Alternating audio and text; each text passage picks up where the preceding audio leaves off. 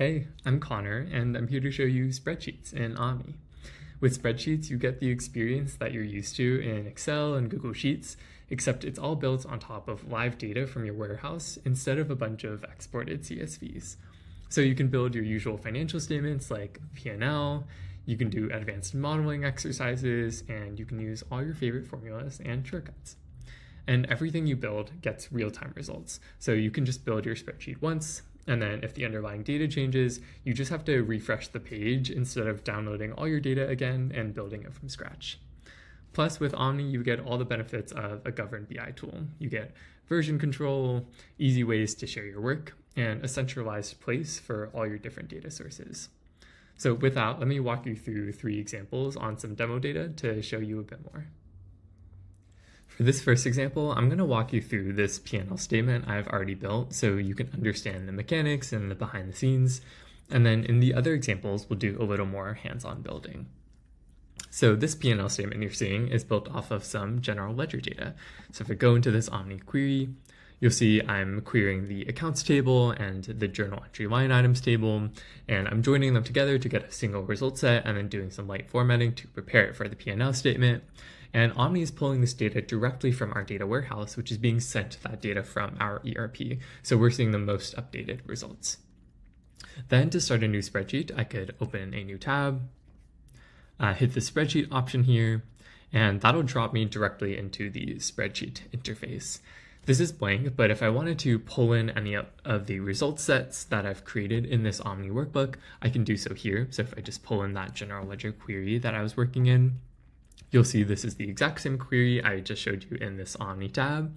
And then from here, I can start building on top of it. So uh, if I wanted to directly reference it, I could uh, just uh, use that syntax there, or I could, as you would in Excel, click into that tab and then just click the value that I want. And then from here, I could just continue iterating from there.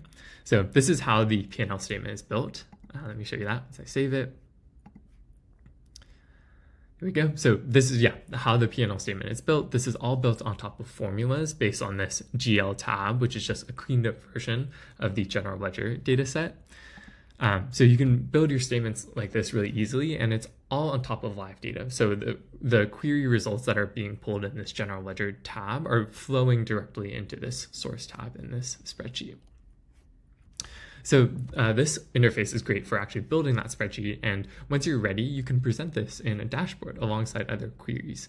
So let me pop over to another full version of a built out dashboard. Here, this is an exec dashboard where my execs can see the P&L statement alongside other data like S1 opportunities, S2 opportunities, conversion rates. So you can give um, your execs and other people on your team a complete picture of the business by bringing your financial reporting into your BI tool where your other data lives as well. This is all version controlled, so instead of having to send one-off files or worry that the file you sent isn't quite ready, you can do all your work in this sandbox. So if I hit edit there, I'm dropped into my own personal sandbox where I can make changes freely. Nobody's going to see this version of the file. And then once I'm ready, I can publish it and share it with my team. And to share, it's just like a Google Doc or a Google Sheet. So I can hit that share button. Uh, I can invite specific people. I can change their permission level depending on what access I want them to have, and then share this file, and uh, I can share it as a URL as well. The last thing I wanted to show you is that uh, your work doesn't have to just stay in Omni. You can also bring it back into Excel if you want to continue iterating from there. So let me go back to the workbook I was working in. And then you'll see here there's an option to download. So download that sheet and then that'll bring in the, uh, that'll download this entire spreadsheet. So if I pop that open in Excel, you'll see it's retained all the different formulas and formatting that I had in Omni, and it's pulled in those result sets that I was working off of as well. And then I can also go in the reverse direction. So if I have an Excel sheet like this that is already built out, it has all the formulas and references I want, uh, I can rebuild it in Omni based off of the live data that I'm pulling from my data warehouse. So here, if I were to uh, pop open a new tab, hit the spreadsheet option again, and then I'm just gonna, again, pull in that uh, Excel file that I had already built as if it were a file that I never touched Omni. And it's gonna, Omni is gonna pull in all the formulas, all the references, and here it's actually referencing the like exported CSV data or exported Excel data that I had in that Excel file, but I could easily rebuild this with live data. So for example, I could delete this tab here and then pop in the general ledger data that I've built in Omni. And since those have the same structure, then this P&L statement will automatically get the live data using those same references and formulas. So it's quick and easy to kind of convert your existing Excel workbooks into Omni so that they're built on top of live data. All these different pieces come together to make it easy to build your core financial reporting in Omni, share them with people, and show them real-time results, rather than having to rebuild every time the data changes. All right, so for this second example, I'm going to start from the same P&L statement we've been working on, and I'm going to build on top of it with a new summary tab that collects some of the core metrics from the P&L statement, and then I'll also calculate a new metric, CAC payback, or customer acquisition cost payback period. So I've already started that new summary tab, so you don't have to watch me do a bunch of formulas. And I'm using dynamic references here, so as the underlying data changes and the P&L statement changes, all of those changes flow directly into this summary tab. Now to calculate CAC payback, I'm gonna need a new metric, which is the change in monthly recurring revenue or net new monthly recurring revenue. I don't have that granularity in my ERP, so I need to get that from Salesforce and I can do that in Omni.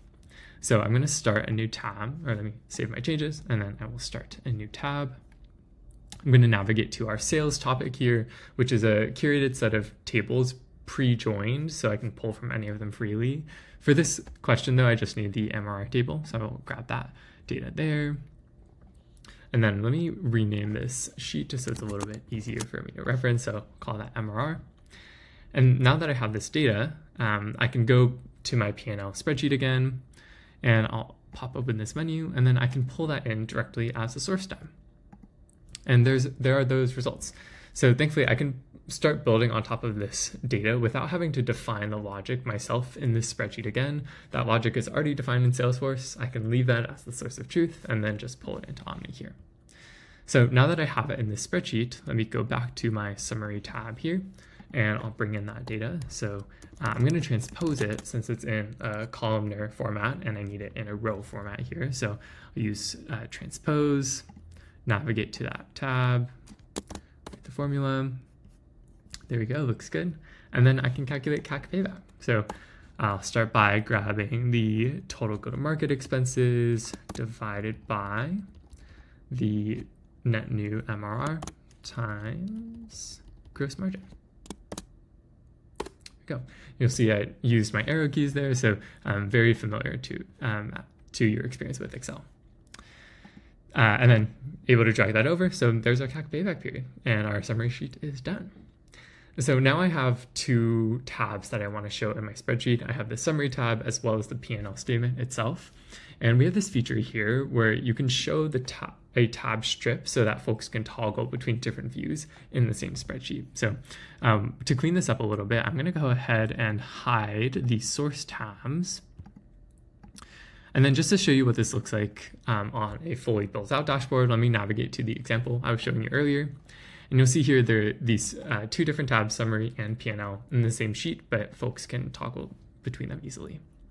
So it's quick and easy to combine different data sources to get the metrics I need here. I don't have to export from a bunch of different places and re-download when the data changes. The logic and the data from every system flow into this one centralized view. For this final example, I want to show you a modeling use case to give you a sense of what's possible with live data and spreadsheets in Omni. So in this example, we're trying to forecast the amount of capital required to hit our target number of customers over the next year. If I pop into the workbook view, you'll see that that forecast is built off of some actual performance data coming from this live Omni query. So we have the total number of customers, annual contract value, customer acquisition costs, and then this dynamic growth toggle. Then we pull in those results into the spreadsheet as a source tab here, and then use them as starting points for our analysis. And since you're using an Omni query to power that forecast, again, it's all dynamic and based on live data. So for example, uh, discard those changes real quick. Uh, if I wanted to look at opportunities only in the past six months, I could change the filter here, choose that. Uh, if I wanted to look at a different growth scenario, I could use this growth toggle we've set up to change our targets.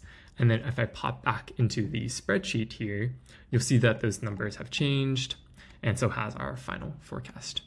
So instead of having to rerun this forecast every so often to get updated numbers, you can build it in Omni so you're always operating off of the freshest data. And you can always bring in new data too. So back in the Omni query, I could slice by segment or created date or any of the other data here. So you have all the data available to you from your data warehouse without having to export from your systems every time. That's the cool thing about using Omni for this kind of work. You get the flexibility and speed you're used to in spreadsheets, and you also have this live dynamic view that you and your team can always work off of. All right, that was a quick overview of spreadsheets in Omni. We've loved seeing what our customers have built already and can't wait to continue seeing how it evolves. And spreadsheets are just one of the ways you can interact with data in Omni. You can also use AI to ask questions in natural language, write custom SQL, or use our workbook interface to pick and choose what fields you want to see. So if you'd like to try out spreadsheets on your own data or see anything else on the platform, please reach out to us. We would love to show you more.